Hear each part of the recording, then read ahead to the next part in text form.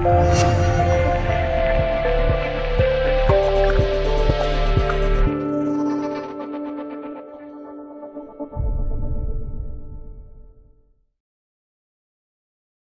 京时间今天凌晨，欧冠联赛小组赛第五轮再展开八场对决，其中利物浦客场一比二负于巴黎圣日耳曼，而热刺依靠埃里克森的进球，在主场一比零拿下国际米兰。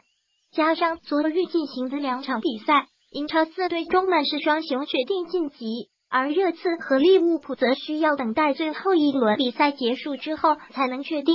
目前来看。两队的晋级前景都十分渺茫。热刺战胜国米之后，因客场进球多而排在积分榜次席。最后一轮，他们需要在客场挑战巴萨。小组赛，巴萨还未尝败绩，唯一的一场平局是客场一比一战平国米。热刺在第二轮主场二比四不敌巴萨，最后一轮前往诺坎普挑战颇有难度。而国米则是主场对阵位置十二分是一组的第一。并最终打进了决赛，而热刺五胜一平积十六分，力压皇马和多特的小组头名出现。上赛季表现优异的两支球队，本赛季却让人揪心，面临小组赛出局。不得不感叹欧冠竞争太激烈了。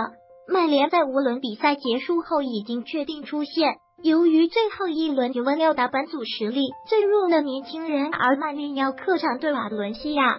所以大概率他们将以小组第二出现，淘汰赛中将很有可能出现曼联、巴萨、曼联、拜仁、曼联、皇马等重量级的强强对话。但正如穆里尼奥所言，进入了四分之一决赛，一切将变得可能。曼联在五场比赛中的失球分别为六个和两个，六个进球中只有一个是在老特拉福德打进的。在卢卡库拉什福德和桑切斯等人没找到射门靴的情况下，曼联的前场攻击性依然孱弱。而在联赛中已经丢了二十一个球的防线，反而在欧冠中目前只丢掉了两个球，是失球最少的球队。在应对欧冠上，莫里尼奥的经验和智慧帮助了红魔。目前丢掉两个球的队伍还包括了尤文、皇马、拜仁。阿贾克斯和多特蒙德，若按照防守好来预测，最终的冠军将在这六支球队中产生。A 小组和 H 小组中没有球队的进球数达到两位数，体现出两个小组球队的进攻效率不是很高。